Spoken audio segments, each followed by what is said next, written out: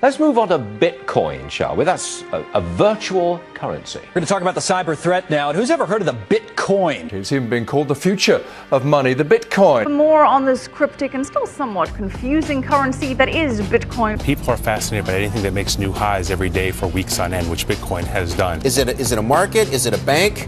Is it an exchange? We're asking whether or not this currency really has any longevity, let alone legitimacy. Do you ever think that it has the potential to replace traditional paper currency? It is gold 2.0. Cryptocurrencies, Bitcoin is the first example. I believe they're going to change the world. This is the time where people should be trying really big, crazy things. Bitcoins are generated using a process called mining. Your computer is given a complex mathematical problem to solve, and the goal is a 64 digit number. If your grey box can successfully solve that algorithm, then congratulations, you are the proud owner of a new block. The network automatically adjusts the difficulty of mining so that bitcoins are created roughly every 10 minutes. The reason they call it mining is because there's a set number of bitcoins that can ever be mined in the system. There's only 21 million bitcoins that will ever be created in total. You can't just print off cash like they do in the real world. You're digging it out of the system, like precious metals from some mathematical mine. Like you can pretty much attribute everything that's going on here to, to like a real gold mining operation. It's like you have heavy equipment, you have cost, you have fuel costs. Yep. And you have recovery. Everything. That you then go and sell and turn into real money. I mean, these things are all blowing out massive air. Now the cooling in here is so efficient. Nice, ice cold air coming in here. You put your hand in the front, down the center, it is burning, burning hot. So if you're asking yourself, is Bitcoin mining profitable? On this scale, hell yes it is. A Bitcoin is the reward for solving complex mathematical puzzles, and Bitcoin miners let their computers work day and night to complete these tasks. All the Bitcoin users in the world are connected, and together they constitute a network that processes and checks all Bitcoin transactions in a public ledger called the blockchain. Satoshi's invention eliminates the need for a central bank, because all the users together are the bank. With paper money, a government decides when to print and distribute money. Bitcoin doesn't have a central government. The Bitcoin network automatically changes the difficulty of the math problems, depending on how fast they're being solved. In the early days, Bitcoin miners solved these math problems with the processors in their computers. Soon, miners discovered that graphics cards used for gaming were much better suited to this kind of math. Graphics cards are faster, but they use more electricity and generate a lot of heat.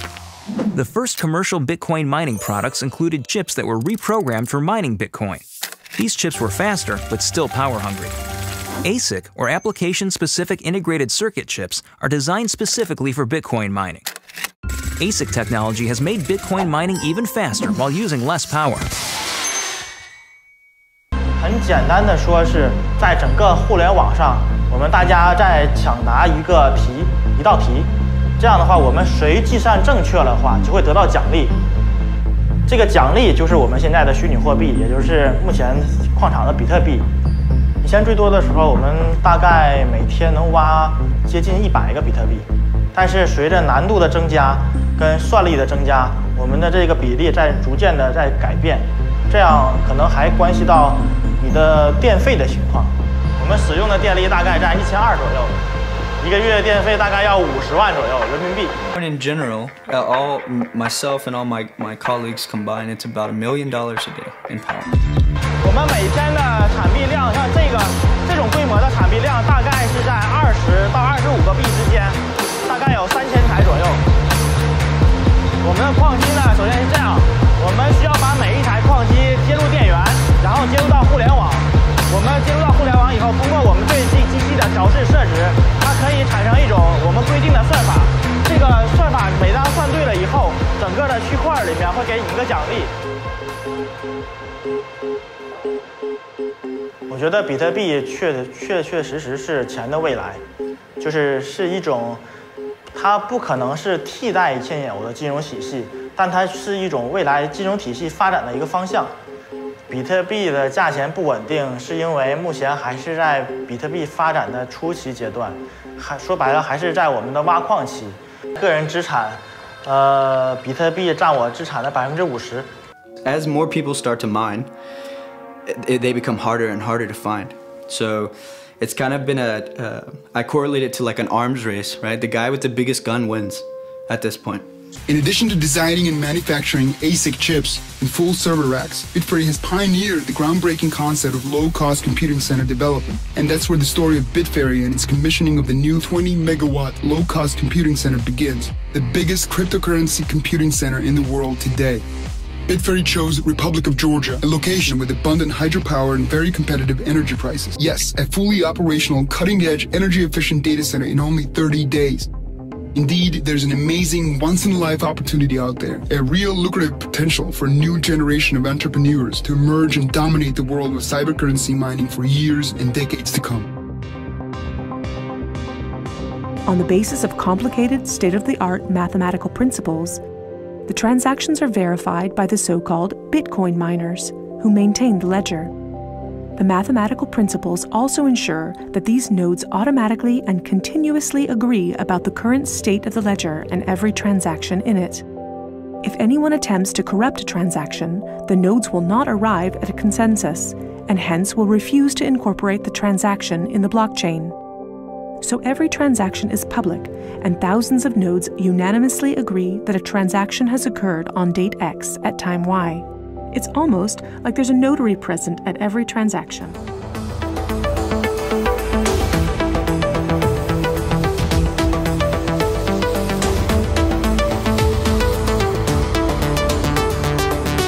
This is 4,000 GPUs consuming about a megawatt of electricity.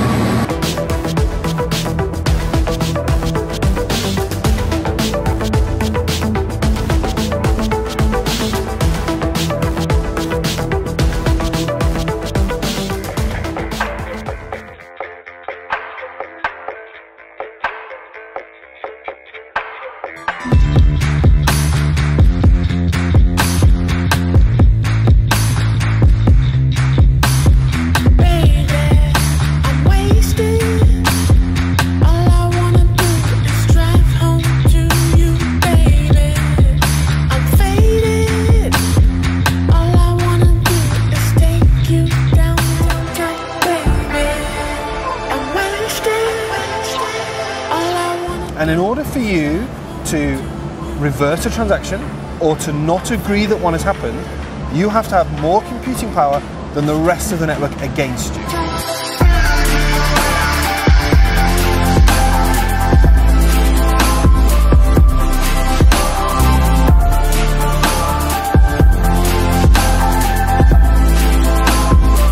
So in order to stop it, the calculation is something like 400 billion laptops to try to delay a transaction by 10 minutes.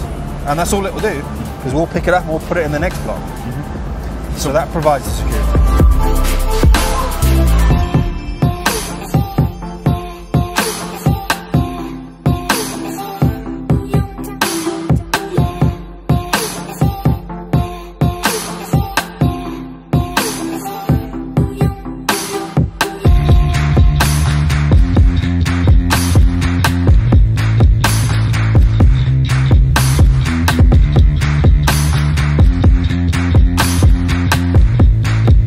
Really the, the, massive potential is the ledger, this public ledger that's underneath. And so we can see that the, the Bitcoin blockchain can be used to secure anything that's public information. The digital world is a part of our DNA now. It's how we share our experiences, how we consume our entertainment, how we stay in touch with our loved ones. This is how we used to send letters, to travel, to make phone calls and shoot movies. Mankind invented software and technologies, breaking every distance, border, difficulty, and pulling the world instantly closer together. But what about banking? Think about it. Billions of people in the world have no access to financial tools. Borders and the system create barriers. We trusted banks, but they collapsed time and time again. They take hundreds of billions in fees from us. Bitcoin doesn't care where you're born, what color your skin is, or where you are in the world. It's an open network. It's maintained equally by people all over the world. Anyone can verify the transactions, and it happens instantly. For just a few cents, you can send any amount of money to anywhere in the world. Bitcoin is a global community of inclusion, an invitation to participate in an open world. Join us today, start a Bitcoin wallet, and help us shape the future.